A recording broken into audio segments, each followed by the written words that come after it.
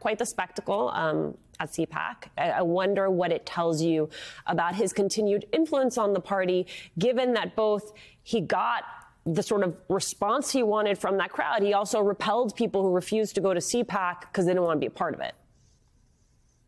Well, just in spite of all the vulnerabilities that we have said Donald Trump has, he's still in as a better position this year than he was in 2015 when he ran for president, won the nomination, and won the election in that year. He's he's far more very much more popular among Republicans. He's more dominant. Obviously, CPAC has become him, his his group, as we saw in there, and he's lead in the polls over the next challenger. This time around is much higher than them.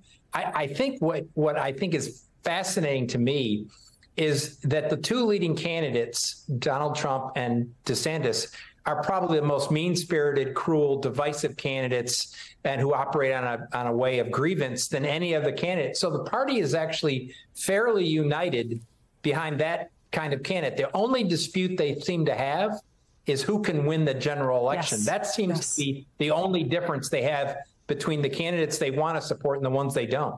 Right, is why DeSantis has become Trump Trumpism without some of the legal issues, and then actually he's arguing that he can be electable. I completely agree with that analysis. Paul, it, it strikes me Trump says a lot of ridiculous things. He vowed he wouldn't let any indictments stop him from running for president in 2024. I mean, is that just because he will need to continue fundraising if he's indicted? Is it just sort of the absurdist type of thing that he says? I wonder. I wonder what you made of those comments. You know, Alicia, when I was a public corruption prosecutor for the Department of Justice, it was very common for politicians to say that they would run for reelection regardless of our case. But this is the first time a former president has faced that possibility. The Constitution only has three requirements for who can be president. You have to be born in the U.S., you have to be at least 35, and you have to have lived in the country for at least 14 years. Way back in 1920, Eugene Debs ran for president while he was actually serving a prison sentence.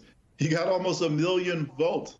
Debs said that if he had won, he would pardon himself. And Alicia, that's just one of many constitutional issues that could present itself if Trump ends up winning in 2024.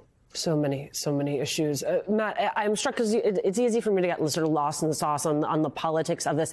I was also struck by some of the foreign policy messaging that we saw at CPAC. You had speakers bashing Ukraine, I mean, bordering on pro Russian propaganda. The election denying former president of Brazil was a key speaker, a noted speaker.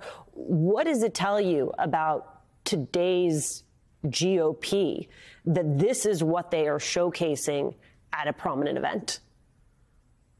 what tells me two things. One, to carry on what, something that Paul said, that being a criminal or being a potential criminal is no downside in the Republican Party today. So the fact that Donald Trump is leading all the polls and he has all these potential lawsuits and p- potential criminal behavior, that doesn't seem to be any downside. The second part of this, which is you and I have had this conversation, it reinforces the idea that they don't care if you abandon democracy and support autocracy, as long as you accomplish what they want to accomplish, which is to satisfy their grievance or to satisfy revenge on a certain segment of, of the population. They have completely abandoned the idea the president is supposed to protect and defend democracy, mm-hmm. and they would just as soon pick anybody. It doesn't matter the means for which you get it, it including throwing away our constitutional system of democracy if they get to the end they want, which is their person in office to satisfy all the grievances they have.